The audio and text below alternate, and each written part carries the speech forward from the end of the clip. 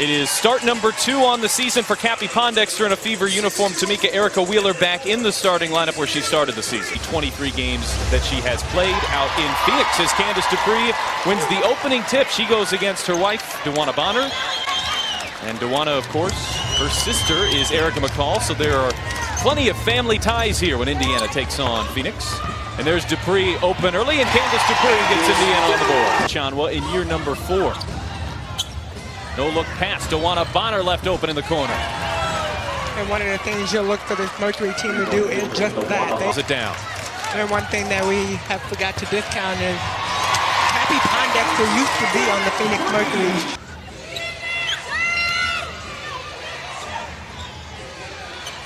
Griner, that drop step on Achonwa.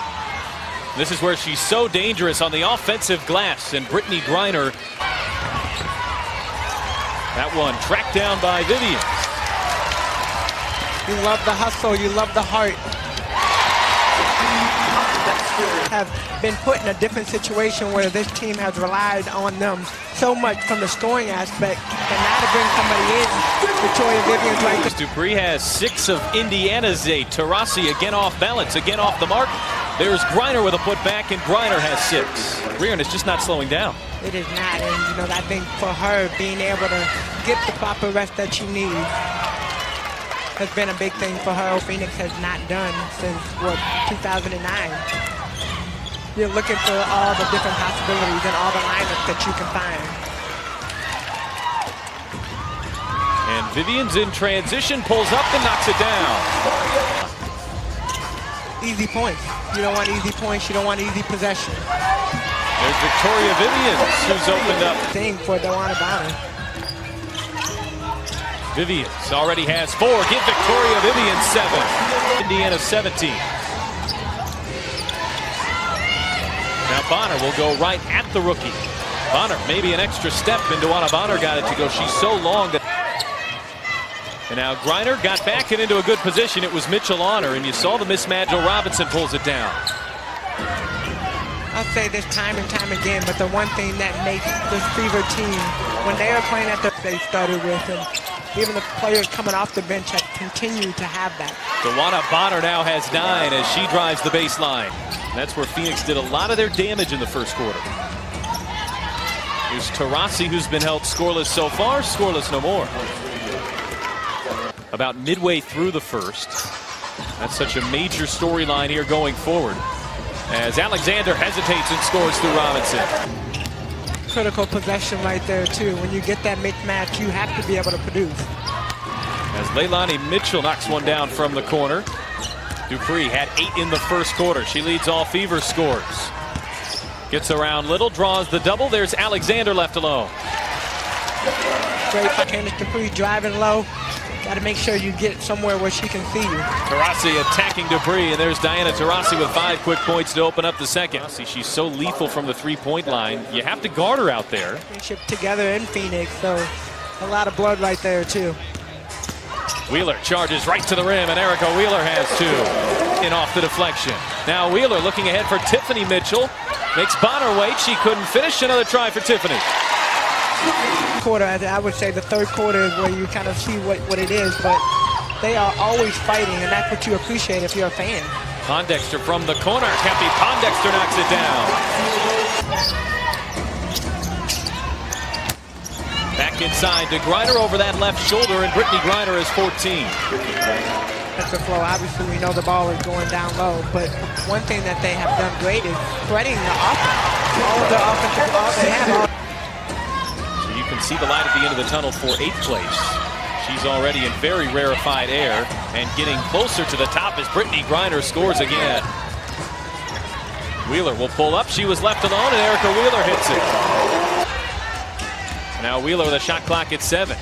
She drives at January. Good defense from Briann, and Wheeler threw it in anyway. She looks like a nice pro when you couple that with Erica Wheeler, and what she's been able to do. And now Pondexter who drives hard. You get first lead since the first quarter. Dupree driving at Robinson. Candice Dupree. From a 13-point deficit, they have the lead as Mitchell steps in. Mitchell with the steal. She'll bounce for a charging Wheeler. Mitchell there to clean up. Taurasi looking to end the drought. Diana Taurasi. And are looking to add on to it as Pondexter pulls up. That's a good looking shot from Cappie Pondexter. She got against your original team. You got that fire in you. January couldn't get it to go. There's Angel Robinson with the putback. Dupree with 12 in the first half. That left hand over Robinson. Shot clock down to seven. January, that's a long two, and Briann January drains it. Found late in the second quarter. They've held Diana Taurasi to seven in the first half. Here's Taurasi to open up the third, and right on cue, Diana Taurasi buries a three. That gives her 10. In the first half, Phoenix just three.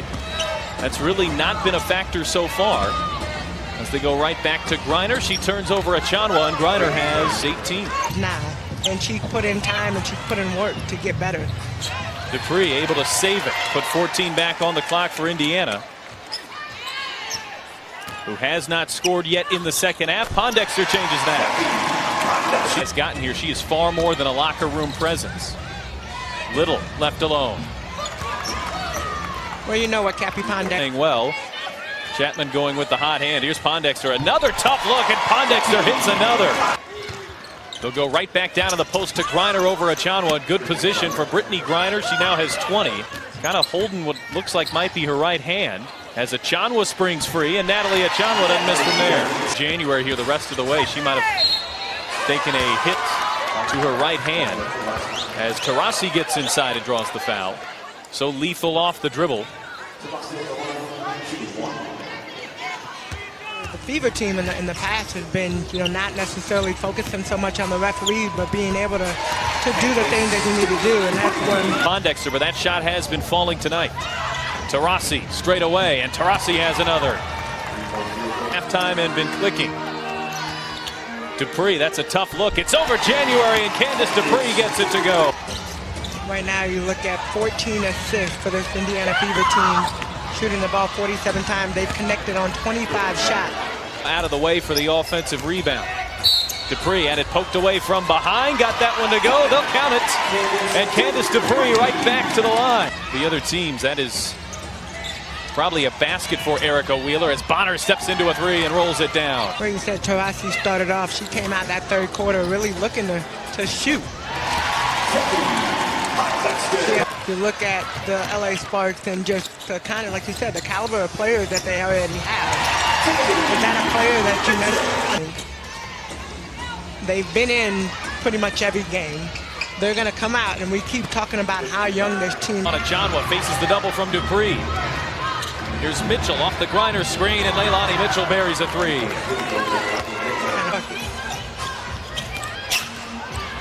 Vivians back to Dupree, who continues her strong night, now 23 for Candice Dupree.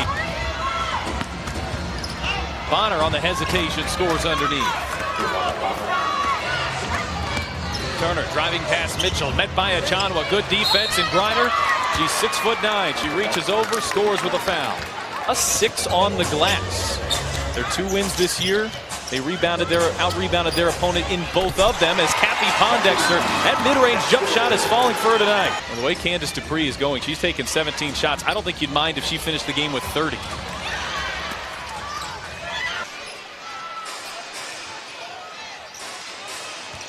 Bonner with the shot clock down to five. A rolling Griner defended by Alexander. Griner with a basket. Griner with a foul rather than later. Bonner can't get that one to go. The offensive rebound. Taurasi will pull. And just like that, Phoenix, which saw a 13-point lead. Have not been able to convert. So really trying to find where they can get that shot and get something going for those that come into this league. And, you know, for the majority, you have the plays ran for you. That ball in the hand not necessarily able to make the... Will be paying off in years down the line. Oh, definitely. And, you know, she has everything that quality point. The scoreboard not going to be indicative of how this one went as Phoenix is finishing here on a torrid pace. Indiana actually led at halftime. Found its way in Phoenix's favor here in the fourth quarter. Certainly her effort is the one distinguishing mark. Well, they came in with a plan, a definite plan, and getting the ball down low. Kelsey Mitchell finally gets that shot to go. You right around a year old at this point. Can imagine they'll be good basketball players. Leilani Mitchell will dribble this one out. The Fever overcame a 13-point first half deficit to take a halftime lead. But as this one wore on, the Phoenix Mercury...